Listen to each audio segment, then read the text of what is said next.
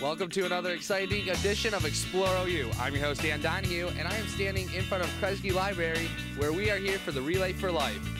Many organizations, including fraternities and sororities, are here helping gain money for research for cancer. So we're going to check out what's going on here and what it's all about. Have you ever been pranked on April Fools? Yes, uh, when I was eight,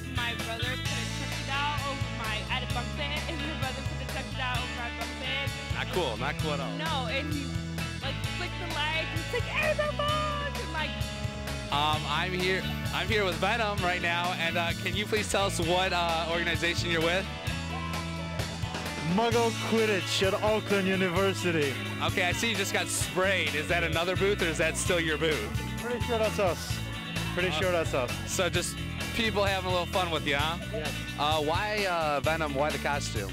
Uh, because we like villains. Villains are cool. I think I, I personally think villains are cooler than the heroes. So I'm here with Daniel Ellis, and Daniel, what is going on exactly here at OU Day of Service? Um, we have probably 10 or 15 different projects set up.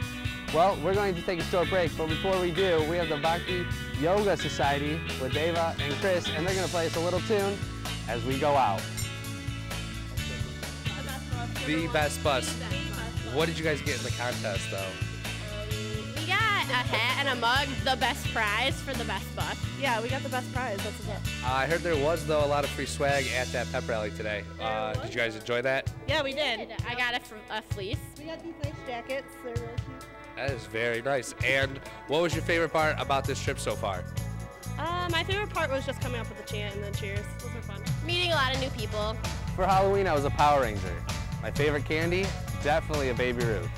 Rob Paulson went around the OC asking students what they were for Halloween and what their favorite candy is to eat. So let's check it out.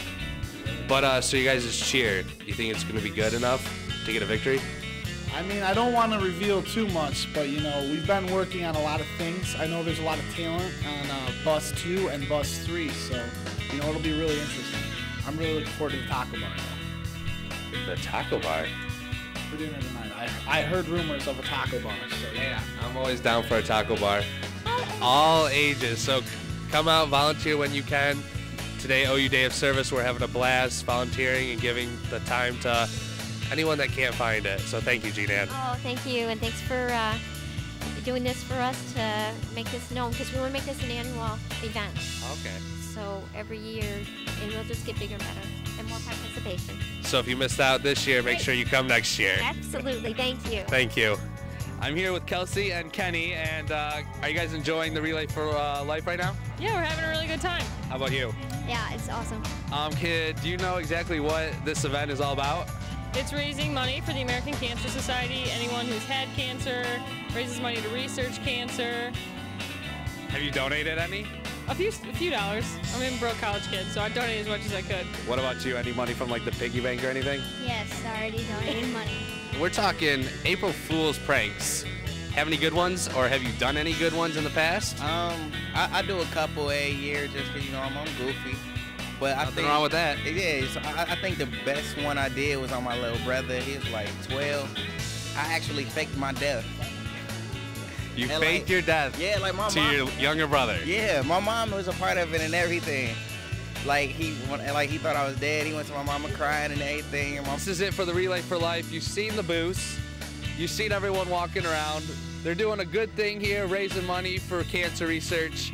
Now it's time for you to do something good. Make sure you help out the next time you see an event like this and do something good for your community.